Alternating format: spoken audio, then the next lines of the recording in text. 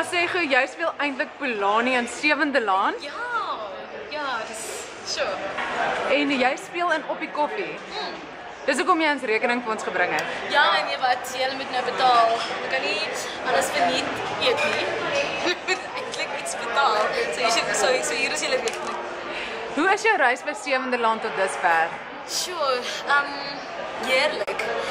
Baie um wonderlike mense ontmoet en vir my is dit wow, incredibly awesome om met so wonderlike mense te werk.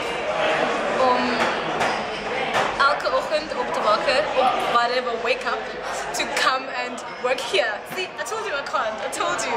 And um ek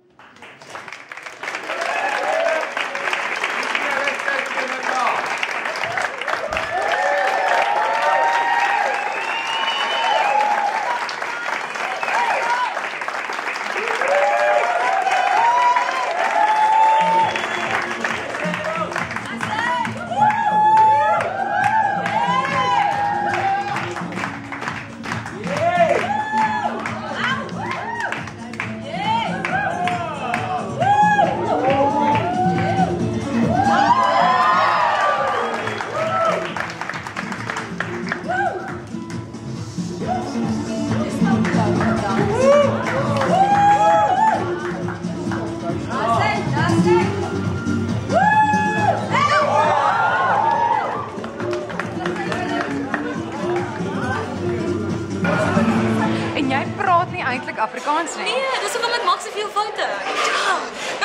Ek ek kry dit en dan vergeet ek dit en dan kry ek dit en dan is dit net 'n bol of mes in my kop. Maar as ek die skrip kry en dit die vorige dag leer, dan is dit bietjie makliker die volgende dag. Maar ja, yes, dis moeilik. Ek wil dit nie Afrikaans doen nie. Ek kan. This interview is